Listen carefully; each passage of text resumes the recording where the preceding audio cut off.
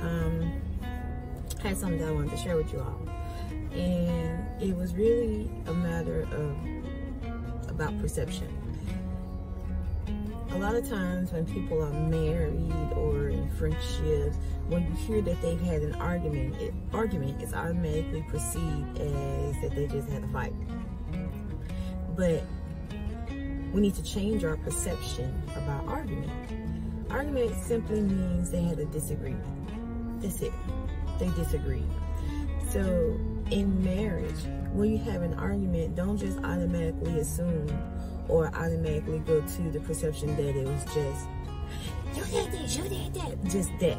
No, change your perception about an argument. We just didn't agree. That was it it could be an argument. This is a, okay, this is an example of an argument that you don't hear people probably say. Oh, we argued about what we were going to eat. We disagreed about what was for dinner or what was for breakfast. That's all they're saying. They disagree. Don't just let your perception automatically go to, oh, they had a fight or it was a fight. Change your perception and then maybe our relationships will be a whole lot better. TTFN.